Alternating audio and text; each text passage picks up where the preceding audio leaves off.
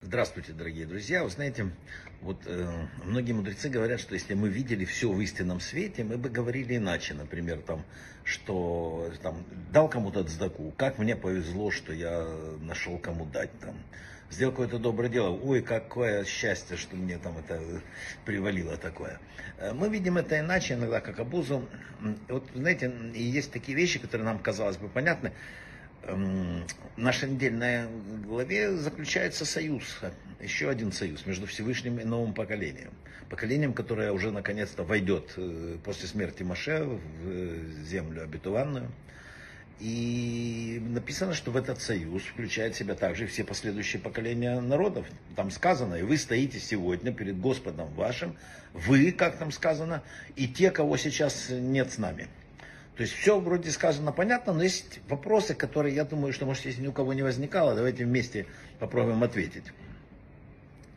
А каким образом одно поколение может обязать последующее поколение соблюдать э, какие-то принятые на себя обязательства или, или еще что-то?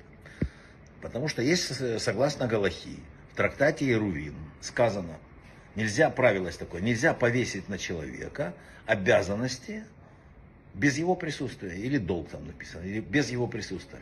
А ведь э, понять этот союз нам крайне важно, потому что в этом союзе Всевышний обещал поддерживать нас в течение всей человеческой истории. Ну, ничего себе, за что мы боремся.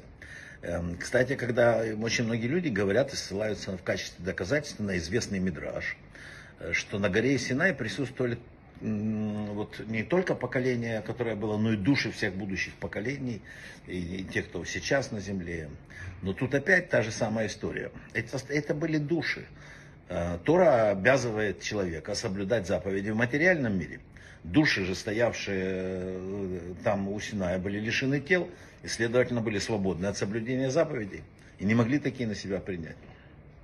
Почти тупик логический. Ну, конечно, находится великий человек. Это Дон Абрабанель, великий раб.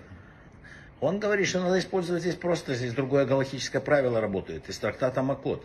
Написано, можно одарить человека без его присутствия. То есть, если Тора и заповеди, это э, тяжесть такая, если это взято, да, и начинают возникать вопросы. Когда человек хоть в каком-то мере понимает, что это, это подарок, это, слава Богу, вот неужели мне такое, меняется все. И э, написано, есть известное выражение, что хотел Бог одарить э, своих детей и э, дал много Торы и заповедей. То есть одарить, то есть заповедь это большое благо. И потому наши предки, заключая союз со Всевышним, в степях Маала, когда это описывается в нашей недельной главе, могли включить в него все последующие поколения. Это такое объяснение. Но Абрабанель еще один вопрос задает. А зачем нужен второй союз? Был уже союз при выходе на Синай, да? И вот он говорит, поколение, которое вышло из Синая, да, они заключили союз, ради которого были освобождены, и приняли на себя что? Бремя Торы взамен позорного ярма э, рабства. То есть они рабство поменяли стать рабами Всевышнего. Однако такое обязательство, оно, мы уже разбирали, это не могли передать следующему поколению, поскольку те уже не были в рабстве. А мы говорили, нельзя повесить на человека обязанность без его присутствия. Уже было. Что говорит Абрабанель? Отсюда, отсюда, отсюда надо понять одно, что э, второй союз касался уже заключения конкретного владения землей. Она принадлежала всем тем, кто согласился соблюдать э, вторую заповедь, и только им. Это был огромный подарок настоящий. Вот именно, как бы, если первый союз был союз вот условий каких-то, то здесь союз земли. И вот это вот принятое людьми, оно поменяло все. Но я думаю, что еще сейчас можно ответить на все проблемы, которые сегодня есть в Израиле. Люди, не принимающие Тору, не признающие заповеди, сами себя как бы внутренне лишают права на землю Израиля из-за вот того, что мы рассказывали. Они не чувствуют глубинной связи, поэтому испытывают комплекс вины там, перед какими-то там одними там группами населения или НАТО или что. Начинают откупаться кусками территории, которая, казалось бы, им кажется, можно так делать.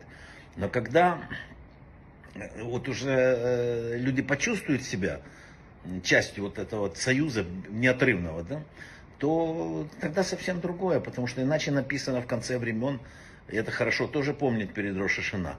Если люди сами не придут ко всему этому, то написано, поставит Бог над ними правителя хуже, чем Аман.